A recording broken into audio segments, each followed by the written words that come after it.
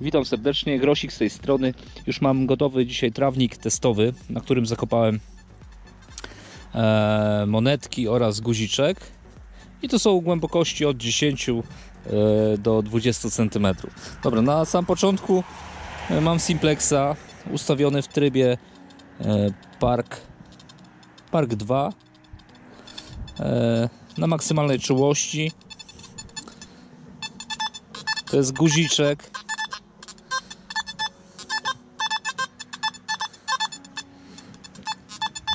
Sygnalizuję, ale słabiutko.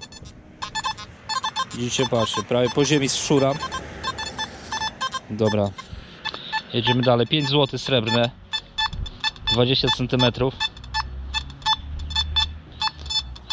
ID 98. Ale trzeszczy. Słabo to sygnalizuje. Dobra. 2 zł srebrne. No trochę lepiej. To jest na 15 cm. Dobra. 5 kopiejek carskich.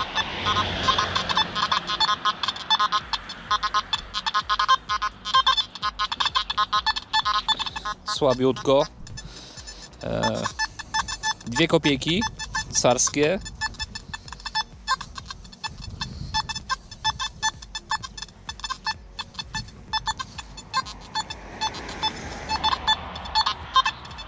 Słabo sygnalizuje. 5 groszy, druga RP.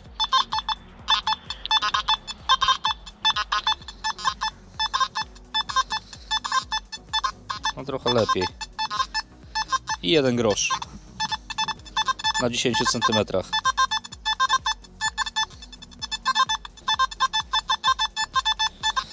Tak syg- sygnalizował Simplex te obiekty. Dobra, wyłączę Simplexa.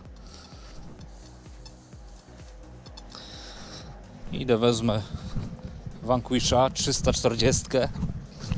Robię testy z najsłabszym Vanquishem, bo nie ma sensu tych lepszych brać, e, bo one mm, za mocne będą do, chyba do tego Simplexa. Dobra, jedziemy od guziczka.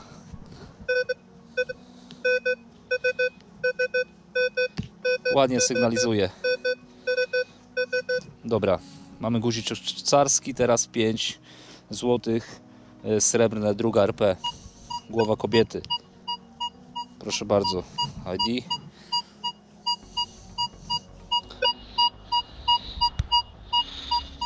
Dobra. 2 złote. Druga RP.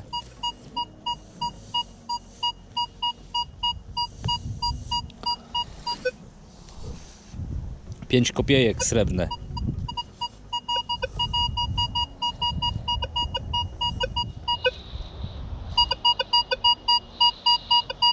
Ładnie sygnalizuje. E, Dwie kopiejki.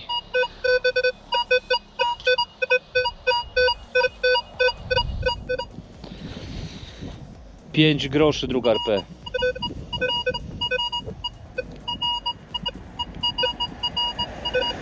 I najmniejsza monetka, jeden grosz.